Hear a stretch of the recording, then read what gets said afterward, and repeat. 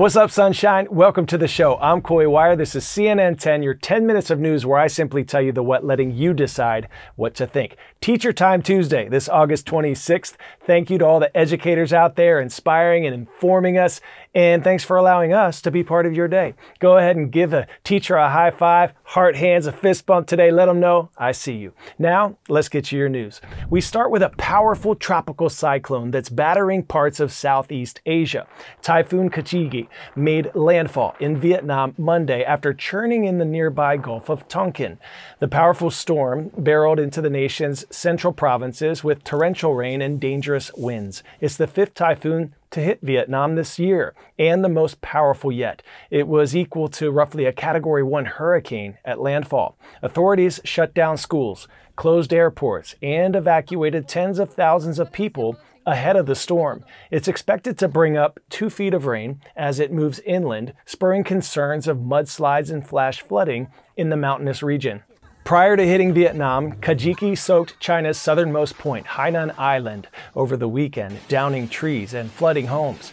Confused on typhoons and how they differ from hurricanes? Well, here's a refresher. They're the same type of storm. Both are tropical cyclones with sustained winds of at least 74 miles per hour. The key difference is their location. Typhoons occur in the northwest Pacific Ocean. Hurricanes, like last week's Hurricane Erin, occur in the eastern and central Pacific, as well as the Atlantic. To Washington, D.C. now. U.S. President Donald Trump welcomed South Korean President Lee Jae-myung to the White House for their first meeting since the South Korean leader was elected to power in June. The two leaders talked trade, security, and the future of American troops on South Korean soil. More than 28,000 U.S. troops are currently stationed in South Korea as part of a mutual defense treaty dating back to the Korean War in the 1950s. This meeting came as the U.S. had been demanding that South Korea allow more flexibility surrounding those troops, which would enable them to respond to China if needed. This next story features an out of this world special delivery. A SpaceX cargo ship successfully docked at the International Space Station as part of NASA's latest resupply mission. And get this, the robotic capsule even parked itself. Yep, autonomously. It carried more than 5,000 pounds of food, supplies, and scientific experiments for astronauts aboard the station. NASA says these experiments include bioprinting tissue in space, as well as studying the loss of astronaut bone mass, something that could prove key in future missions to the moon, even Mars. The Dragon capsule began its journey atop a Falcon 9 rocket that launched from Florida's Cape Canaveral Space Force Station. It will now stay docked at the ISS for about four months, orbiting the Earth once every 90 minutes at an altitude of about 200 miles. Eventually, it will splash back down to Earth with some vital scientific data for teams on the ground. 10 second trivia. What is the most common type of rock where dinosaur fossils have been discovered? Igneous, sedimentary, metamorphic, or volcanic glass? If you said sedimentary, you said it right. The ideal conditions for fossilization occur in places where sediment accumulates. Dinosaur bones were rapidly buried, protected from scavengers and decay, and then slowly compressed into a rock formation. It's one of the reasons so many dinosaur fossils have been well preserved in the United States. Question for those of you who live in the Midwest, specifically the Dakotas. Have you ever been fossil hunting? I gotta say, one of the coolest things about being a journalist is getting to travel to some of the fascinating, lesser known places on this awesome planet. Well, my pal Laura Coates, she just got back from one of the baddest assignments I've ever seen Badlands, South Dakota. She literally found a prehistoric fossil during her hike through the national park. And the coolest part, you can too. Check it out. South Dakota's Badlands National Park is famously full of fossils that are millions of years old. You kind of never know what you're going to get out here. There are so many fossils in the park that anyone can make discoveries here. So I teamed up with Kevin and Melina from the Black Hills Tour Company. This was a really lush landscape at times, so there's lots and lots of animals out here. It erodes one inch a year, and so these fossils get exposed slowly over time and you can find them. It's one of the best things about the Badlands is that they let you come out and climb up on all the mounds and all the rocks, and because it's eroding so quickly, you know, they're not so precious about it. I see some bones coming out up in here. Oh, I can't resist. I gotta go. You're adventurous. I'm impressed.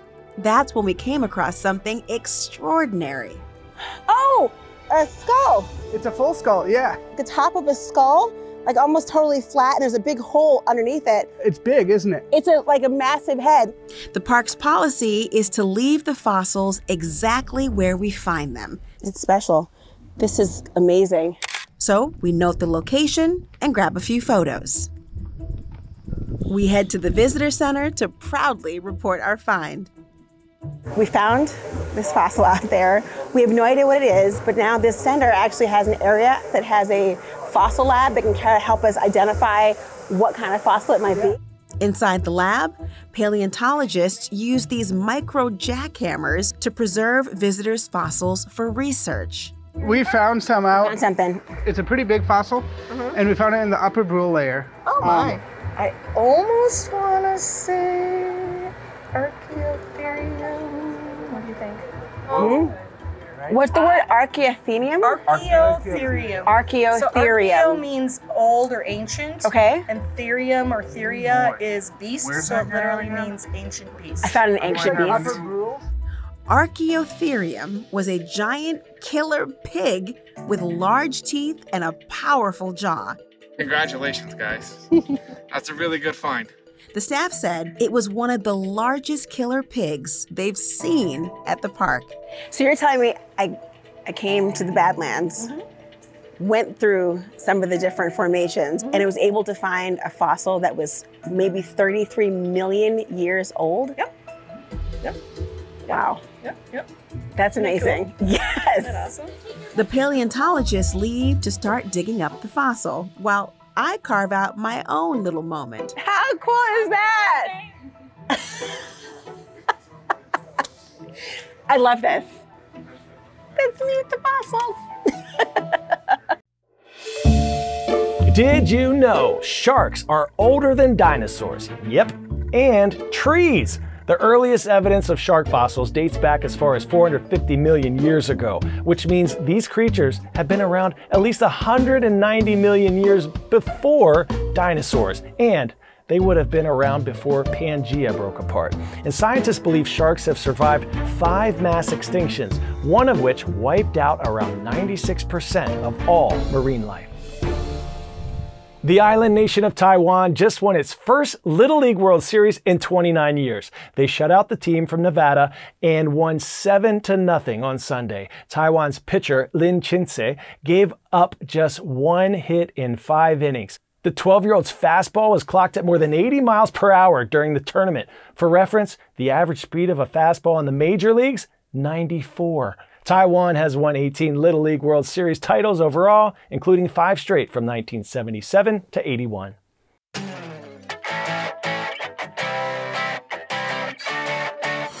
Today's story getting a 10 out of 10, a Minneapolis training program that aims to help more women become firefighters. We want to push the women to not just reach the bar. We want them to crush glass ceilings. We want them to show up and be undeniable that they deserve to be there because we do. According to the National Fire Protection Association, only 9% of the nation's firefighters are women. And the trainers in this program are trying to fight the stigma that women can't meet the physical demands. When they call 911, they're calling you on their worst day and they need you to come and save them, and you have to be physically ready for that. Firefighting is an extremely physical job, and we must be prepared for that. You're literally doing this to save a life. You being in shape and physically prepared can determine if someone lives or dies. One workout at a time, those women are proving that the desire to help people is one of the most heroic actions of all. All right, superstars, time for some shout outs now. First one goes to Mrs. Pepin at CDA Charter Academy in Coeur d'Alene, Idaho. Thank you for all the kind letters from your sixth graders. They made our day. And from our YouTube channel, Mr. Neff at Waynesboro Area Middle School in Waynesboro, Pennsylvania. Thank you for watching us every day. And did you know I used to wrestle some of your alums back in the day when I went to New Cumberland and Lemoyne Middle Schools in the Harrisburg area in PA. Tomorrow is Your Word Wednesday. Follow me at Coywire in the socials. Put your unique vocabulary word and definition in the comment section of my most recent post, and we'll choose a winner to help us write tomorrow's show. Put your school, city, and state in there too so we can get you your shout out. Hope you have a terrific Tuesday, everyone. See you right back here tomorrow. I'm Coy Wire, and we are CNN 10.